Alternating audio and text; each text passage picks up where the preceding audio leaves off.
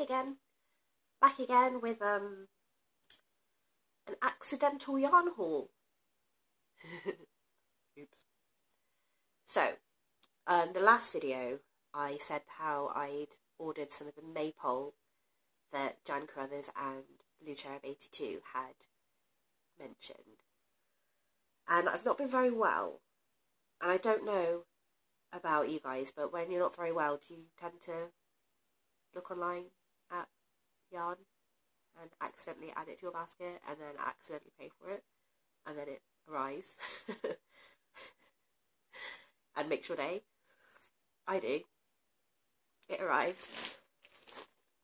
uh, it's exciting. I'm like a kid. I love it. Yeah, so I bought six balls of maypole and three more of the DK that I showed you last time because I used two and a bit of it up. So obviously I had to replace it because there's now a hole in my yarn stash that needs filling. Makes perfect sense. Plus it was really cheap and I really like it.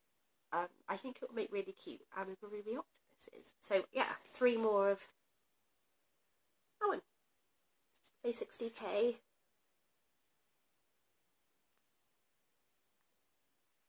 I just like it, so I got three more. That's fine, right?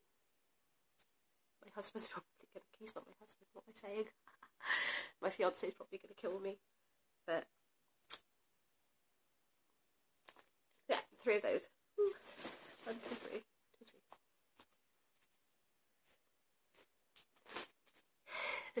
this is what I'm really excited about. I love the colours I bought last time, but on the website they looked really, really vibrant, and in person they were a bit muted. I love them, absolutely love them. Um, I don't know what I had in my head. I think it was just because I'd seen everything else that everybody was showing, and they were like bright colours. Whereas, like I said, they seemed to me a bit muted. these are not. These are definitely not. so excited. so sorry, I've got. I'm eating it. I'm so excited.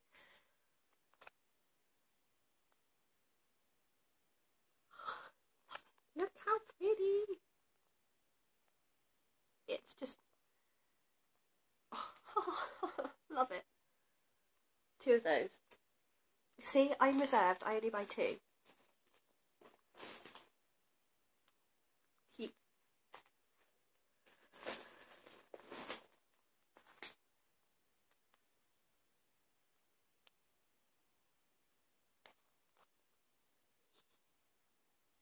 I have no words. They're so pretty. So pretty.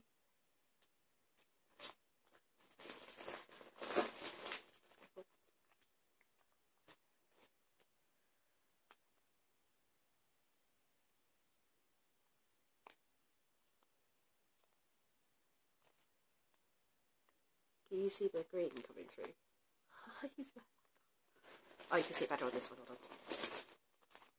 It's just stunning. Absolutely stunning. Love it. And it's so soft. And I can't wait to use it, but I had no idea what I'm going to use it for. To block the hole in my, in my stash, apparently. Why not? But yeah, so that was um my little get well soon to myself.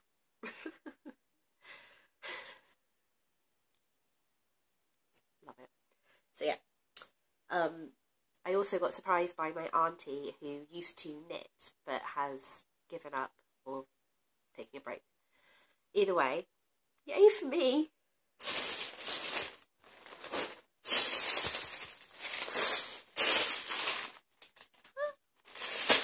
So I've been through it briefly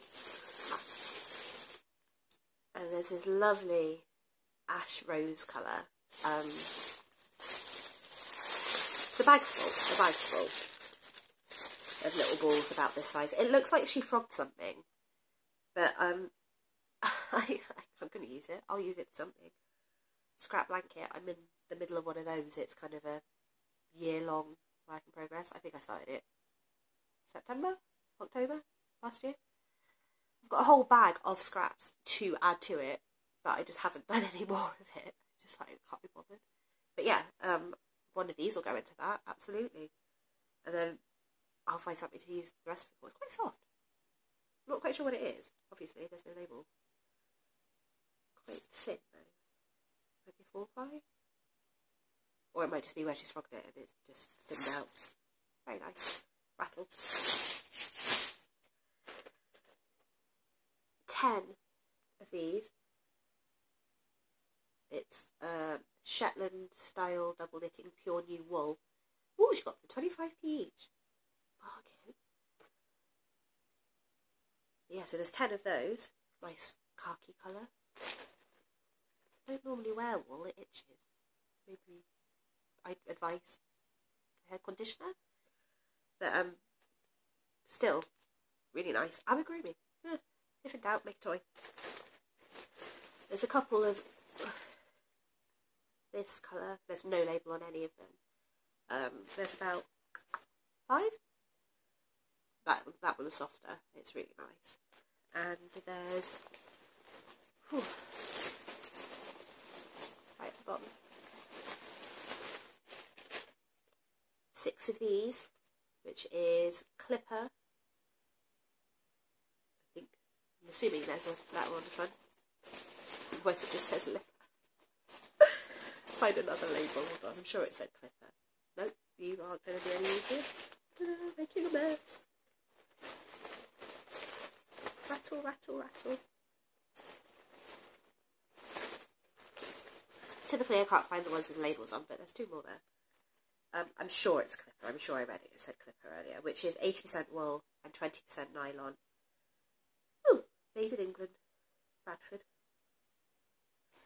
My dad was born in Bradford. That shade two zero. Very old by the looks of it. But yeah, so there's six of those in total because these two don't look like they've been touched compared to not a lot of difference. So that was nice. Oh, one more. Got back the last bag. Purple. That's really nice. It's chunky with wool. Um, so it's 65% acrylic, 20% wool, and 15% nylon. A shade.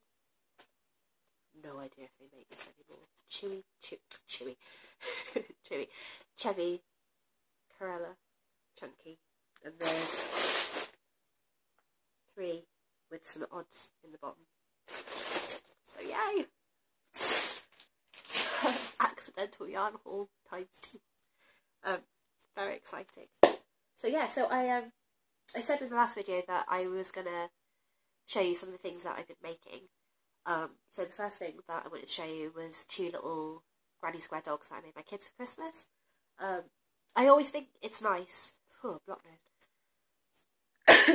I always think it's nice to make them something every Christmas. Bear with me one second. Sorry. Yeah, um, I always think it's nice to make them something every Christmas, just so that, in theory, they have something to like look back on and remember, whether they will or not.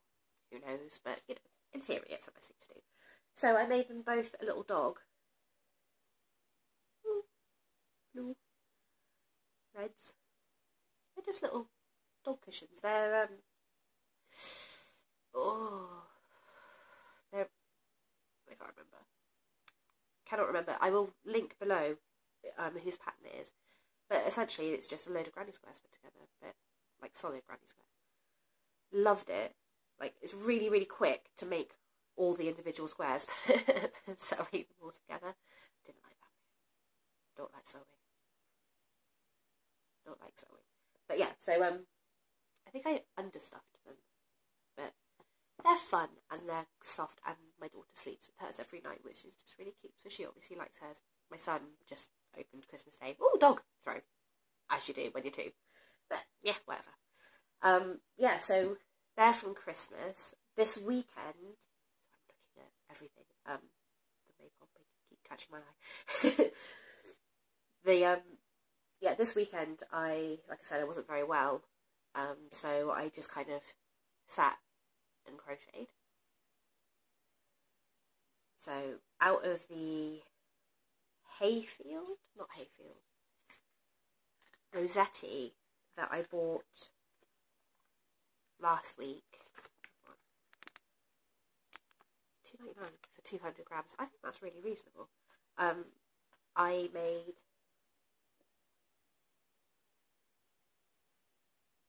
two cowls. Really pleased with these. Really soft yarn. Love it. Excuse me. Um, it says it is 200 grams, 180 metres, 197 yards. Made in Turkey. Might be why I've not seen it before. Um, so yeah, it was 50% acrylic, 41% cotton, and 9% polyester. And it's it's oh, it's so soft. It's lovely, and I'm amazed at how far it actually went. Because I got these two cowls out of it, and then I had enough left over to make an ear warmer as well. So, bargain. Three items for three quid. Can't go wrong, can? It's like Poundland, but better. so yeah, really pleased with those. Like I said, they're so soft, I can't stop. Like, oh. oh. Sorry. I also, um, because I was a bit bored, thought I would try and do one of those braided headbands that were like the rage a couple of years ago. I'm so behind with everything, but never mind. Um, yeah, so I had a go. I like how it turned out, but I don't think I chose the right colour to do it with. It's a bit, it's a bit flat. I don't know, but I did it. I also made another pair of these little wrist warmers, which is the Bella Coco pattern. I love them. I love this yarn as well. But um, these I made for me.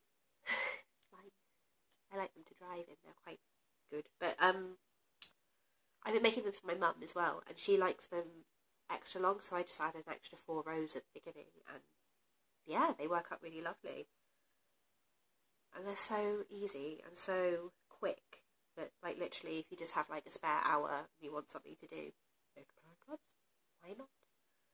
So yeah really pleased with those.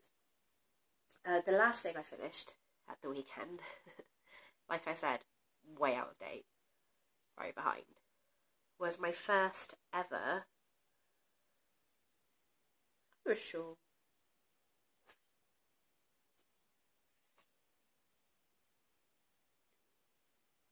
I don't think I like it. I love the pattern and I love the like the way the stitches are and everything. I think it's absolutely gorgeous. I just again, I think I just make bad colour choices. I don't know. It kind of looks what was it I said? My other half nearly wet So I said cameo, camo. Yeah. Camera again. Yeah, I said cameo. Camo. It reminds me of don't you think? Like kind of a black and grey version of camo. But yeah, so that's the last thing I finished at the weekend. Really pleased to be done with it. I was getting a little bit fed up with it, to be fair. Works in progress.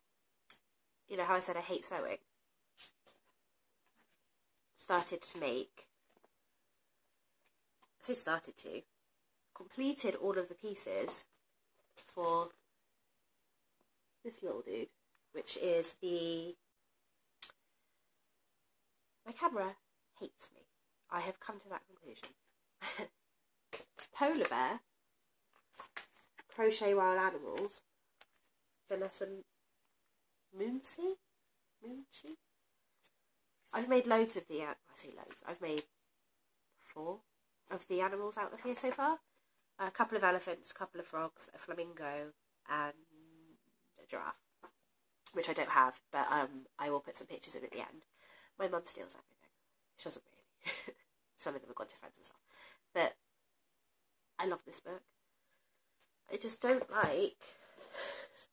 Sorry, every time I look at this, it makes me laugh. I don't like sewing, so it's all made.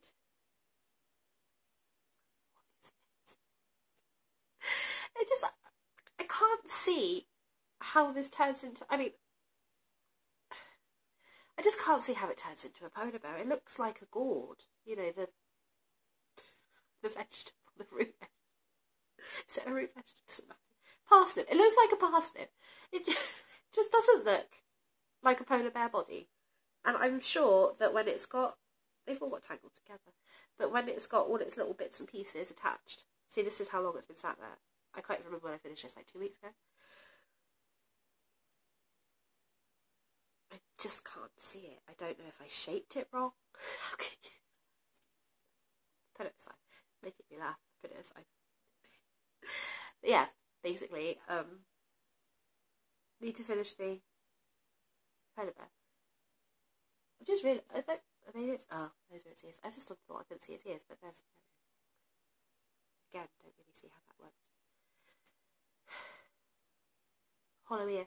But yeah, so I will eventually get around to sewing that together. But that was the Primark Sparkly White, White Sparkle yarn that I said I'd use a couple of balls of in the last video. Yeah, they're sat there, waiting to be sewn together.